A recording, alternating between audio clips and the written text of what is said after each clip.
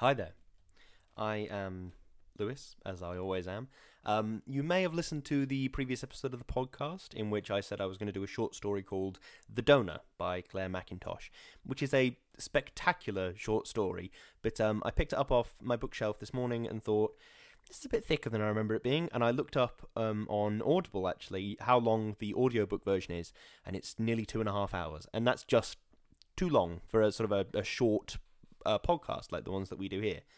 Um, so instead, we are you doing an old uh, horror story by Stephen King that I really like called Jerusalem's Lot. I've talked a great deal on the main podcast about my sort of deep, deep fondness for Salem's Lot, um, which is, I think, Stephen King's second book. Um, might be his third. I might have gotten that one wrong, but I think it's the second. But that is a utterly spectacular vampire novel, and this is unrelated. It just happens in the same place. Um, I absolutely adore this short story. It's one of my favourites. Um, and it again is from Night Shift, which was a big collected edition of short stories.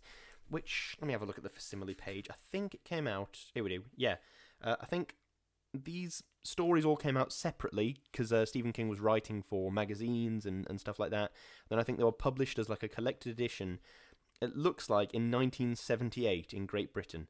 Um, so yeah, that's what the facsimile page says. Anyway, um, if you, if I'm wrong, let me know. I will be genuinely curious to see what the truth is.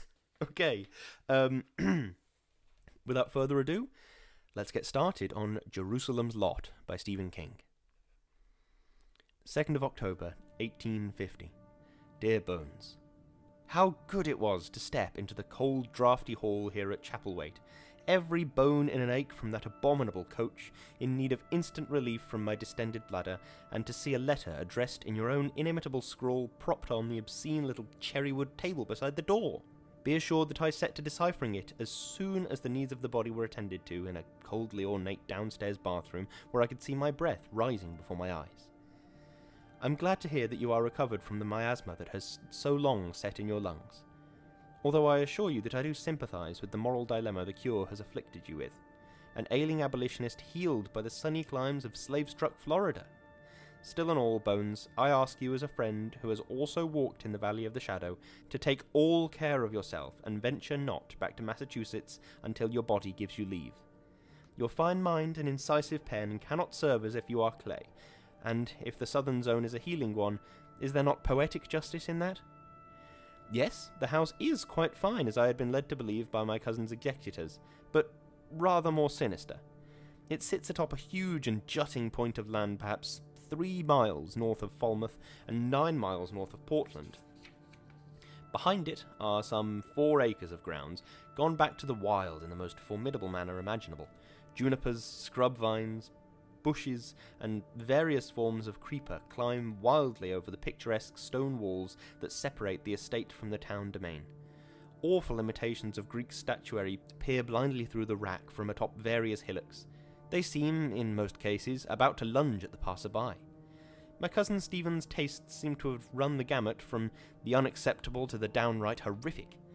There is an odd little summer house which has been nearly buried in scarlet sumac and a grotesque sundial in the midst of what must once have been a garden.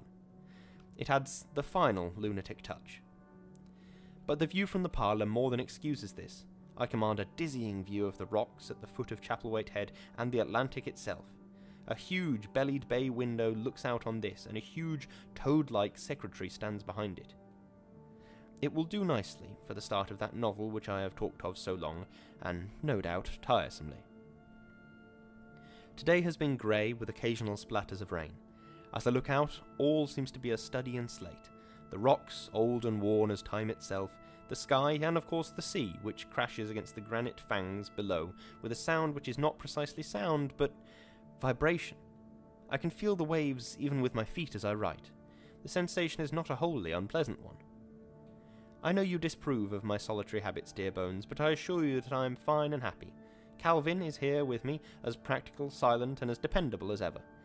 And by midweek, I am sure that between the two of us, we shall have straightened our affairs and made arrangements for necessary deliveries from town, and a company of cleaning women to begin blowing the dust from this place. I will close. There are so many things as yet to be seen, rooms to explore, and doubtless a thousand pieces of execrable furniture to be viewed by these tender eyes. Once again, my thanks for the touch of the familiar brought by your letter, and for your continuing regard. Give my love to your wife, as you both have mine. Charles. The 6th of October, 1850. Dear Bones, such a place is this!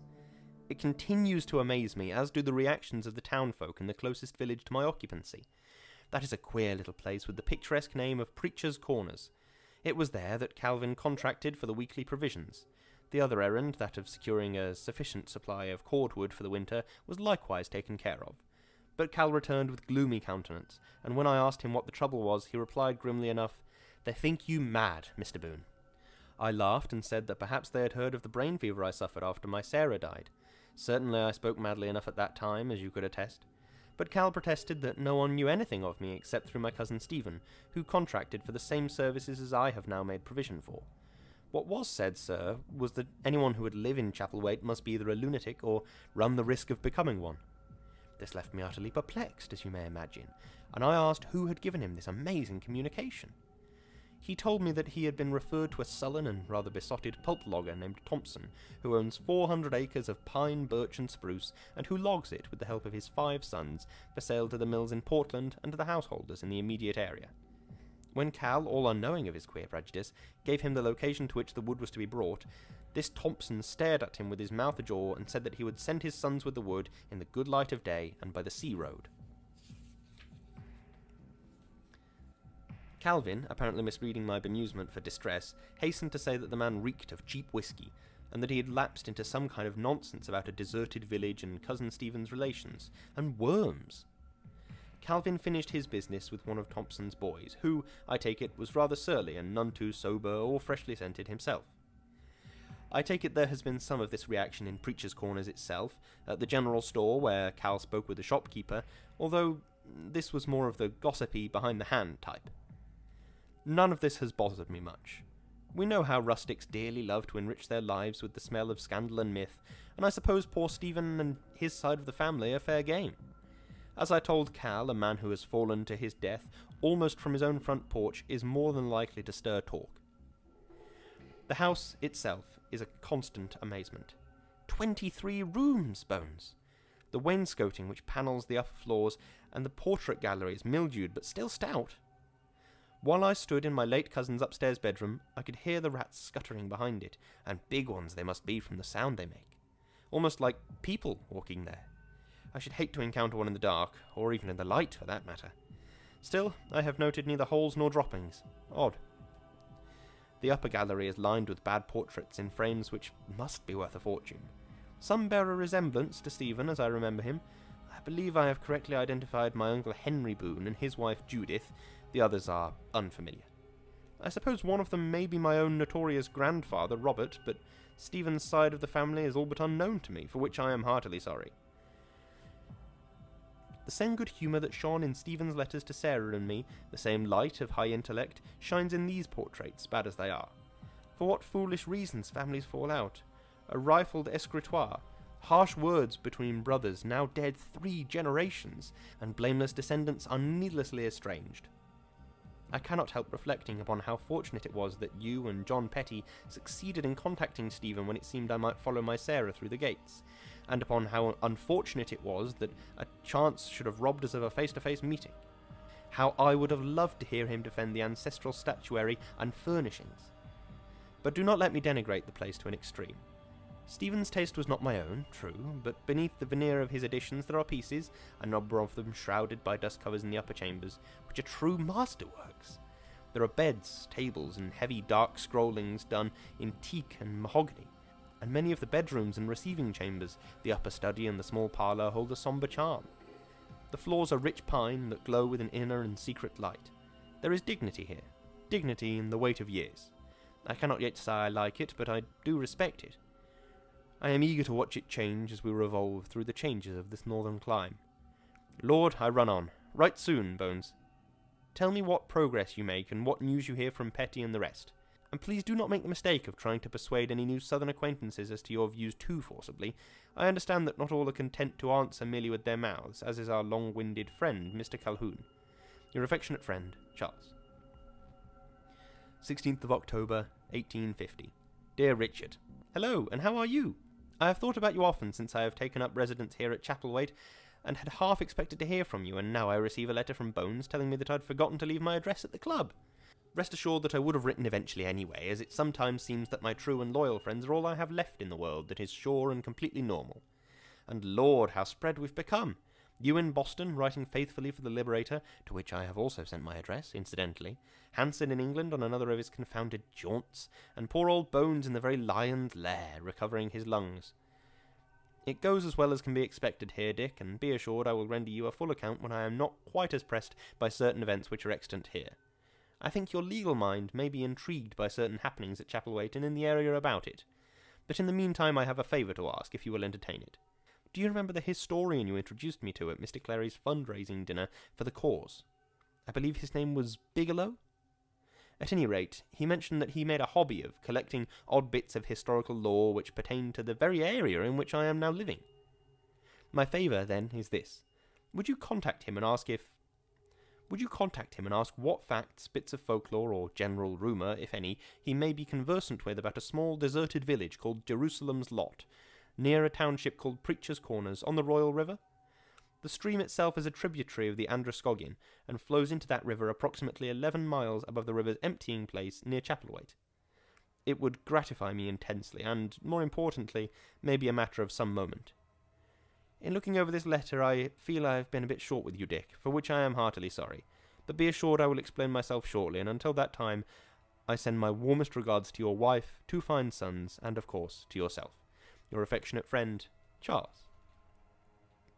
16th of October, 1850. Dear Bones, I have a tale to tell you which seems a little strange and even disquieting to both Cal and me. See what you think. If nothing else, it may serve to amuse you while you battle the mosquitoes.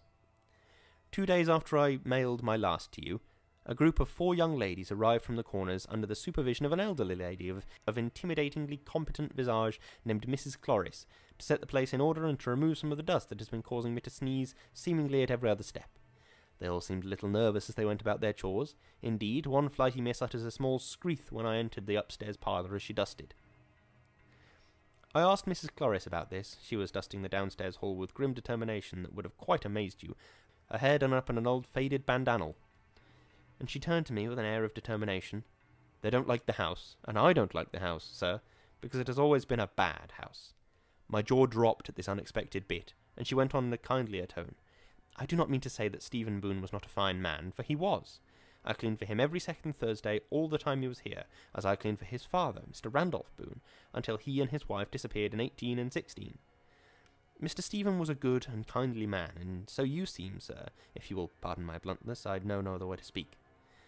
But the house is bad, and always has been, and no Boone has ever been happy here since your grandfather Robert and his brother Philip fell out over stolen, and here she paused, almost guiltily, items in 17 and 89. Such memories these folks have, Bones. Mrs. Cloris continued. The house was built in unhappiness and has been lived in with unhappiness. There has been blood spilt on its floors, as you may or may not know, Bones. My uncle Randolph was involved in an accident on the cellar stairs, which took the life of his daughter Marcella. He then took his own life in a fit of remorse. The incident is related in one of Stephen's letters to me, on the sad occasion of his dead sister's birthday. There has been disappearance and accident. I have worked here, Mr. Boone, and I am neither blind nor deaf. I've heard awful sounds in the walls, sir. Awful sounds. Thumpings and crashings, and once a strange wailing that was half laughter. It fair made my blood curdle. It's a dark place, sir. And there she halted, perhaps afraid she had spoken too much. As for myself, I hardly knew whether to be offended or amused, curious or merely matter of fact. I'm afraid that amusement won the day. And what do you expect, Mrs. Cloris? Ghosts rattling chains? But she only looked at me oddly. Ghosts there may be, but it's not ghosts in the walls. It's not ghosts that wail and blubber like the damned and crash and blunder away in the darkness. It's come, Mrs. Cloris, I prompted her. You've come this far. Now can you finish what you've begun? The strangest expression of terror, pique, and, I would swear to it, religious awe passed over her face. Some die not, she whispered. Some live in the twilight shadows between to serve him. And that was the end. For some minutes I continued to tax her, but she only grew more obstinate and would say no more. At last I desisted, fearing she might gather herself up and quit the premises. This is the end of one episode, but a second occurred the following evening. Calvin had laid a fire downstairs, and I was sitting in the living room, drowsing over a copy of the Intelligencer and listening to the sound of wind driven rain on the large bay window. I felt comfortable as only one can on such a night, when all is miserable outside and all is warmth and comfort inside. But a moment later Cal appeared at the door, looking excited and a bit nervous. Are you awake, sir? he asked. Barely, I said. What is it? I found something upstairs I think you should see, he responded, with the same air of suppressed excitement. I got up and followed him. As we climbed the wide stairs, Calvin said, I was reading a book in the upstairs study, a rather strange one, when I heard a noise in the wall. Rats, I said. Is that all? He paused on the landing, looking at me solemnly. The lamp he held cast weird, lurking shadows on the dark draperies and on the half seen portraits that now seemed rather to leer more than smile. Outside, the wind rose to a brief scream and then subsided grudgingly. Not rats, Cal said. There was a kind of blundering, thudding sound from behind the bookcases, and then a horrible gurgling. Horrible, sir. And scratching, as if something was struggling to get out, to get at me.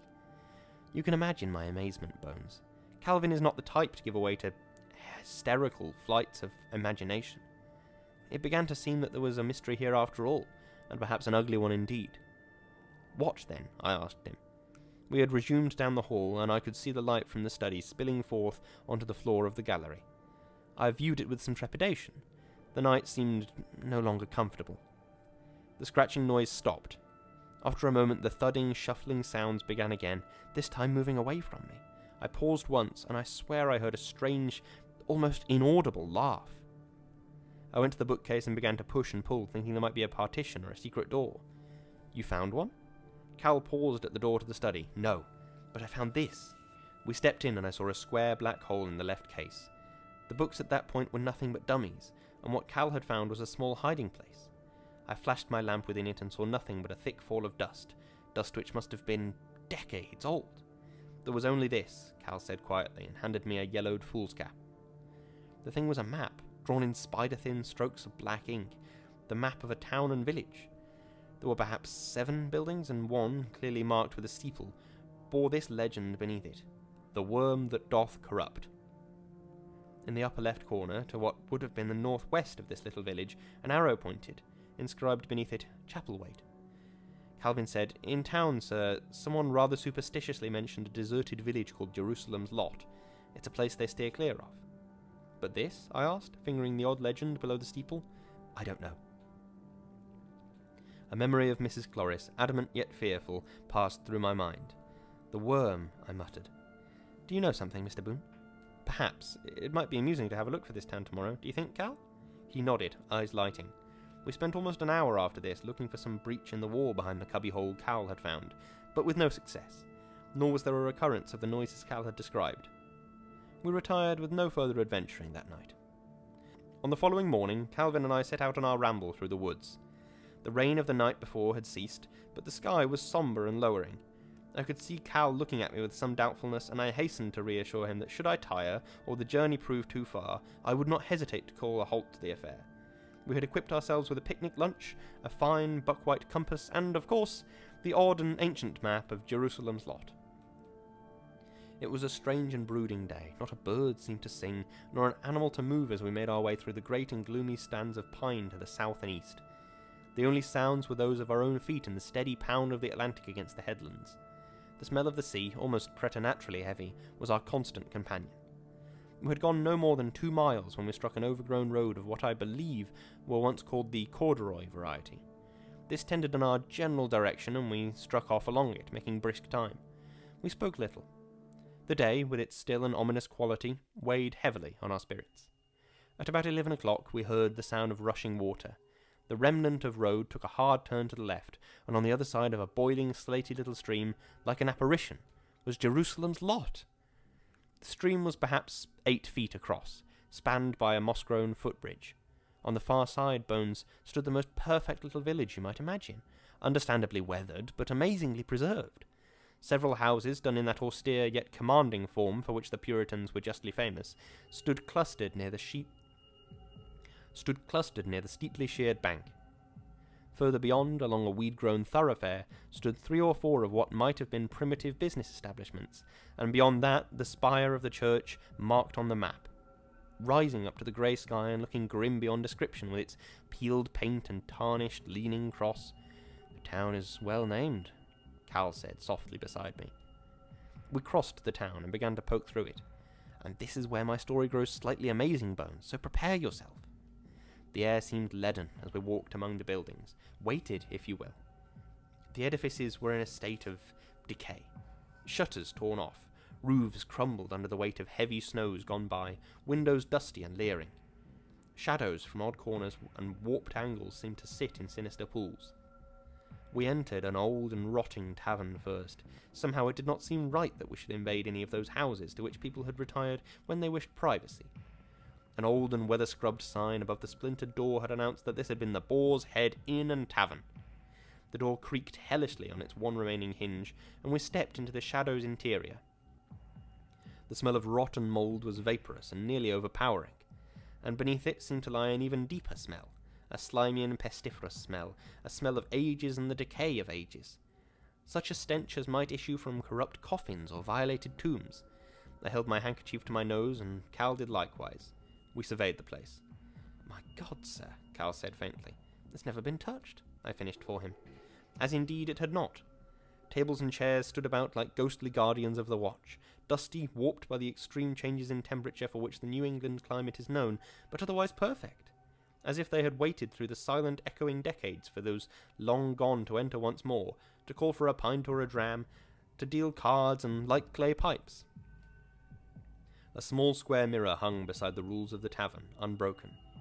Do you see the significance, Bones? Small boys are noted for exploration and vandalism. There is not a haunted house which stands with windows intact, no matter how fearsome the eldritch inhabitants are rumoured to be. Not a shadowy graveyard with at least one tombstone upended by young pranksters. Certainly, there must be a score of young pranksters in Preacher's Corners, not two miles from Jerusalem's lot.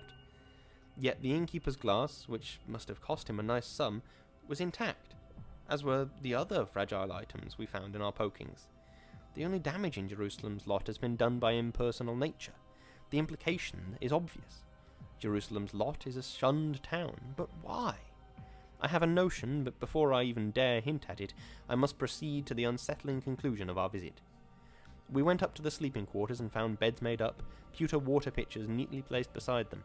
The kitchen was likewise untouched by anything save the dust of the years and that horrible sunken stench of decay. The tavern alone would be an antiquarian's paradise. The wondrously queer kitchen stove would fetch a pretty price at a Boston auction. What do you think, Cal? I asked when we had emerged again into the uncertain daylight.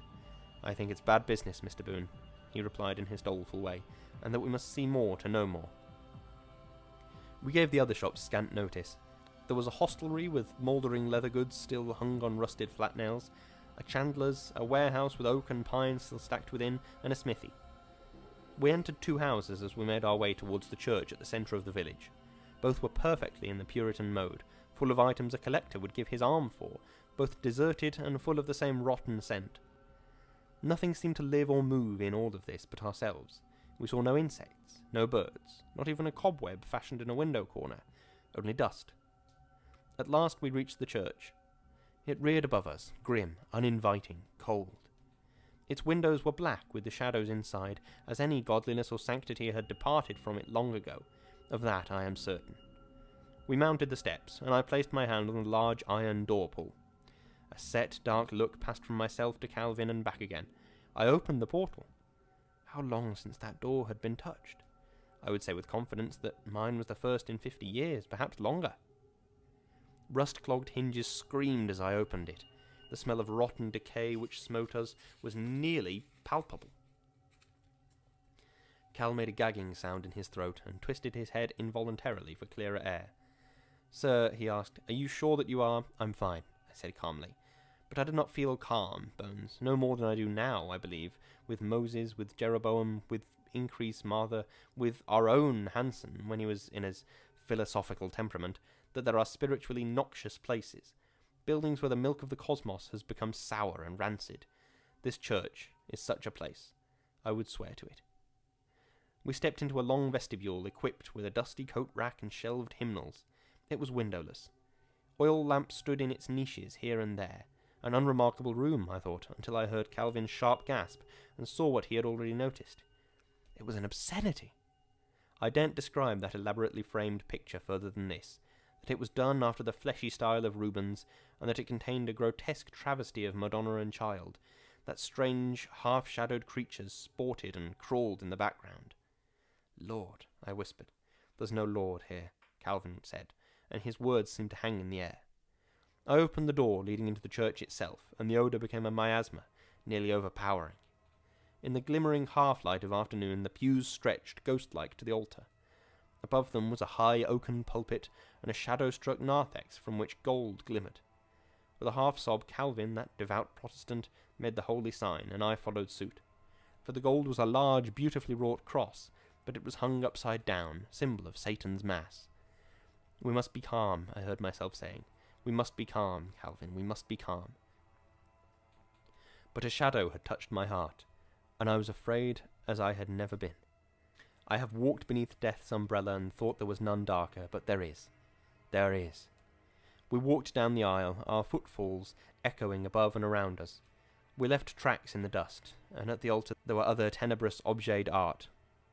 I will not and cannot let my mind dwell upon them. I began to mount the pulpit itself. Don't, Mr. Boone, Cal cried suddenly. I'm afraid, but I had gained it. A huge book lay open which looked upon the stand, writ in both Latin and crabbed runes which looked to my unpractised eye either Druidic or pre Celtic. I enclose a card with several of the symbols, redrawn from memory.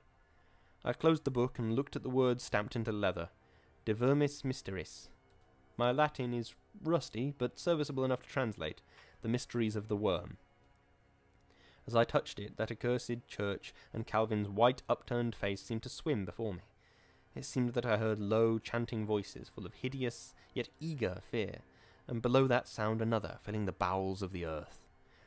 An hallucination, I doubt it not, but at the same moment the church was filled with a very real sound, which I could only describe as a huge and macabre turning beneath my feet. The pulpit trembled beneath my fingers, and the desecrated cross trembled upon the wall.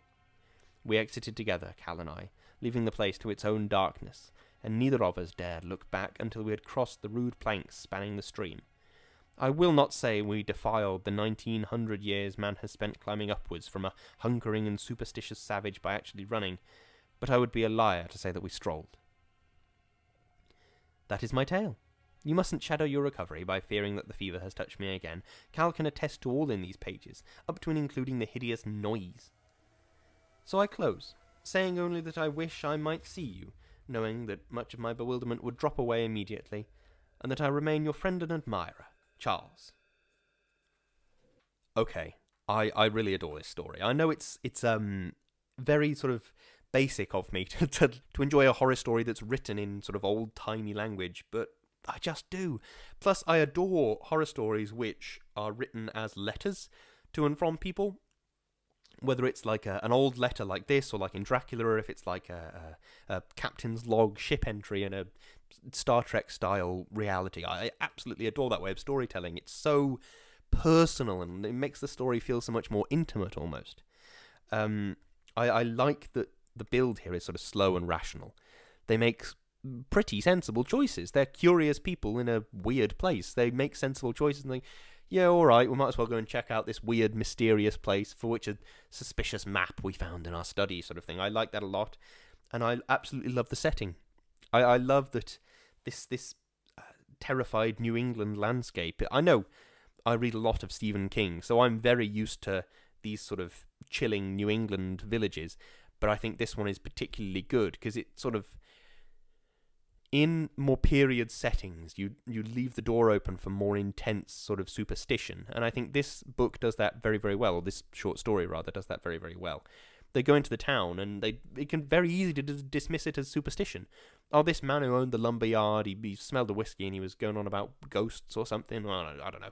And then all these these um cleaning ladies came to the house and they were jumping at noises and oh they're just just simple simple folk from from a backwater town in the middle of nowhere sort of thing. Um, i really like that the characters are headstrong and arrogant because so often you read um, uh, horror stories or watch horror stories where the main characters are sort of wonderfully bright shining examples of humanity and yeah, they those stories have their place, but I like that these characters are sort of like um, Charles is kind of a dick. Like he sort of speaks down to his manservant, and he's he's sort of um, speaks down about the the townsfolk, and he is kind of a dick. And I kind of like that because it means that he's a more real person, and I really like this story and um, I'll be reading out the second half of it and giving my thoughts on the second half of it uh, in the next episode, which I think this one is coming out on Friday, so that one will be coming out on, on Sunday. Uh, so thank you very much for listening. We're going to, well, we, I, am going to do a little bit of shilling now, so I know people don't like this bit, but, you know, we've got to do it. Um, the show has assorted link trees. Uh, you can go to linktr.ee slash lewis underscore brindley for me, slash ohiram for Danny, and slash shouting into the void for the podcast as a whole. There you can find links to absolutely everything, to our social medias, to our merch store, to our YouTube channel, all, all sorts of places, all sorts of things. Um, if you are interested in our merch, go and take a look. We uh, sell stuff on both li- on on Linktree. We sell stuff on um, Teespring, which I think is called Spring now, and uh, Redbubble. Uh, you can go online and you can check out those our stores on those places. You can find our links in our link trees there. Loads of good stuff going on over there. Um, I quite like our tote bag. Um, it's got like a little stupid thing on it, and I quite like it. Um, also, if you want to get early access to our content and ad free content, and you want to sort of offer interesting things for us to talk about in the show or offer your own opinions on things that we talk about, then you can go to our Patreon. That's patreon.com slash shouting into the void, where you can sign up for a little, I think I calculated it once, it was like 20p an episode or even less. Uh, but yeah, you can sign up for just a little bit of cash and uh, you'll get access to the Patreon only part of our Discord server and you can join in with the, with the community over there, which we absolutely love. And yeah, you get all sorts of perks. You can go onto our Patreon to, to have a cheeky look at that. Um, okay, links and link trees and stuff will probably be in the description or the show notes or wherever you're listening to this. Um, so yeah, thank you very much. I will see you on Sunday for the second half of this spooky tale. There's no ghosts. I don't know what noise worms make. Um, I'm not going to try. Okay, thank you for listening.